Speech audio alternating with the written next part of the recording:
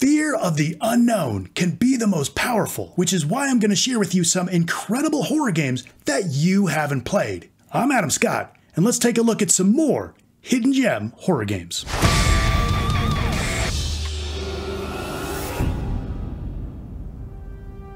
You survived a plane crash in a dense island forest, and your son, who is traveling with you, is now missing.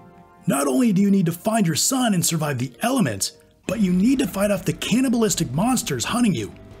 This is the setup to The Forest, a critically acclaimed first person horror survival game. You're in a large open world without missions or any direction. You just know you need to stay alive long enough to save your boy. Like many other survival games, you gather food and supplies that will allow you to craft tools, weapons, shelter, and more. Throughout, you'll explore to find more supplies and clues of your son's whereabouts. As you progress, the creatures become increasingly more horrifying, and the island's inhabitants grow more aggressive, especially at night. The story's relatively grounded, helping you to inhabit the character of Eric and his nightmarish plight and the titular forest makes for a memorable setting, full of oppressive shadows and unknown horrors. I survived hell once. The whole town is gone. That freak creature There's a zombie outbreak, and an evil biogenetics corporation is behind it. Sounds familiar, right? Well, it should. Daymare 1998 actually started as a fan made Resident Evil 2 remake. Yeah, once the developer Invader Studios learned about Capcom's remake, they made a few tweaks and released it as an original title. Well, the title was original anyway. Just like the Resi games, this is a third person survival horror game where you have limited inventory, challenging combat, creepy environments that open up as you unlock new pathways, and an over the top story and characters. It has all of the hallmarks of the originals and even the remakes, a small indie team made this one on a shoestring budget, so there are rough edges for sure. However, if you can overlook a bit of jank, there's enough fun moments, creative puzzles, and scares to make this worth a playthrough. After seeing this debut project, I'm interested in seeing the upcoming prequel, Daymare 1994 Sandcastle. Check out my full review for even more zombie killing goodness.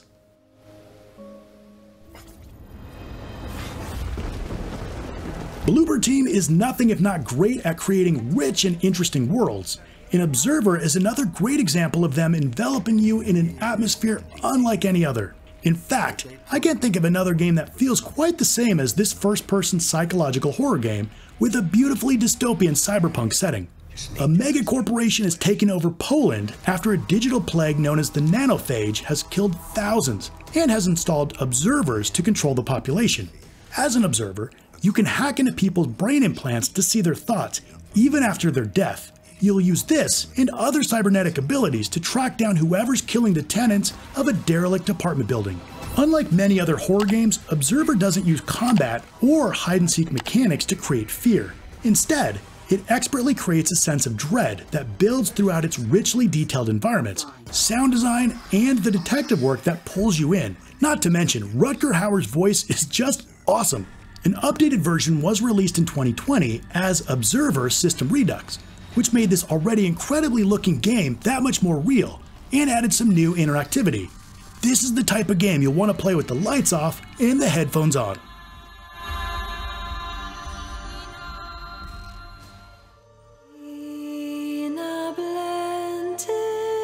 Maid of Sker is a first person game set in the Sker Hotel during the late 19th century you're trying to rescue a maid named Elizabeth who's trapped in the hotel. While exploring, you learn the place is controlled by a cult called the Quiet Ones. Throughout, you'll find notes and gramophone records that reveal the history of the hotel and Elizabeth's family. Several Welsh and British folklores inspired the story, and the environment is very gloomy and foreboding. The game has been compared to Outlast for its hide and seek style of gameplay, and while there are some similarities, the overall atmosphere is quite different. Maid of Sker is a fun, spooky, intense horror game with solid graphics and sound, and worth a play, even if it's not the most original.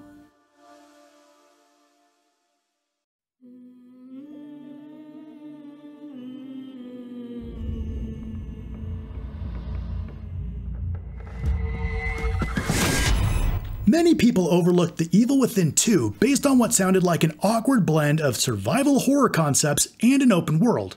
However, to say that this is an underrated gem would be a massive understatement. This is one of the best horror experiences in the past decade.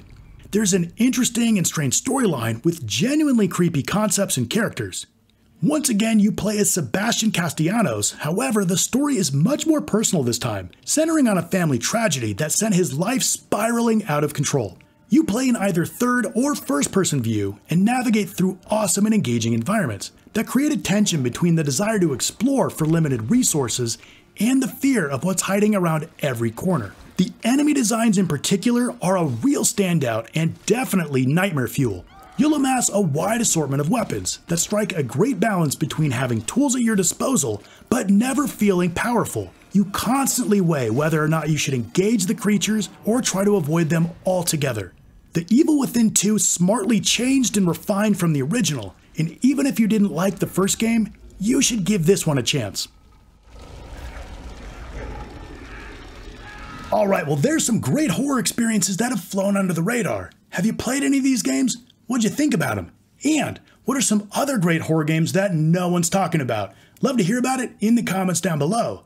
If you like this video, hit the like button. If you want even more great horror suggestions, check out my other videos. Thank you so much for watching, and I'll see you next time.